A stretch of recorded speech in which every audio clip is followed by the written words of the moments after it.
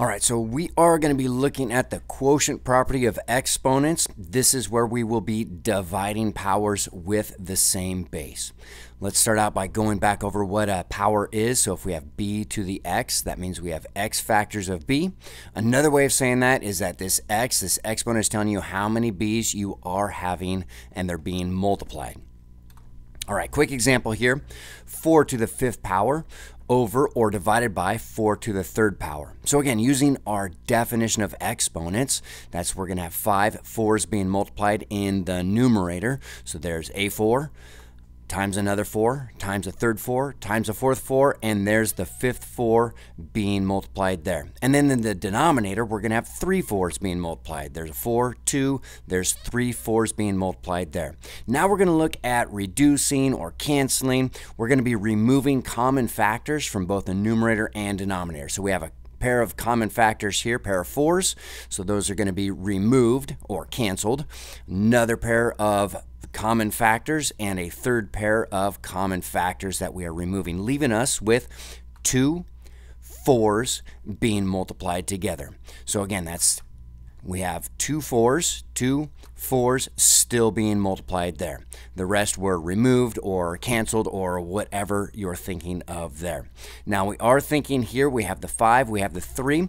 We're thinking 5 minus 3 does equal 2 in this case here because we're removing 3 factors of 4 or canceling out 3 of the 4s there. So that does lead us to our property. So in words, when we divide powers with the same base, we are going to subtract their exponents. In numbers, it's going to look like this, and it's the example we just did. 4 to the 5th divided by 4 to the 3rd is going to equal 4 to the 5 minus 3. And so that's going to be 4 to the second power, or 4 squared. Now, if you're just using algebraic symbols, b to the m over b to the n, the base is going to be b, and then we're going to subtract the exponent. So b to the m minus n. Another example here, b to the 53rd power over or divided by b to the 42nd power.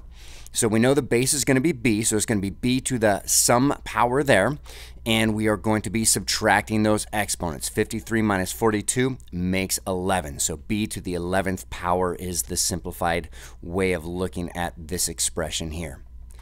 Last example, 24x to the ninth power divided by or over 8x to the fourth power.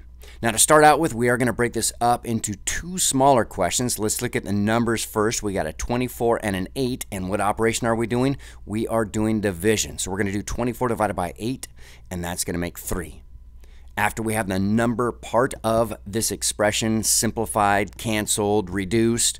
Now we'll look at the variable part. That's going to be x to the ninth over x to the fourth. Now again, that's going to be x to some power. And the way that we find that power when we are dividing with uh, exponents, that's going to be subtract those exponents. So we're going to do 9 minus 4, and that's going to make x to the fifth power. So simplified out, 3x to the fifth power. So again, whenever you're dividing exponents with powers with the same base, we're going to subtract those exponents there. So I hope this helped out. Hope you have a great day, rest of your day, or evening, or whatever time you might be watching this.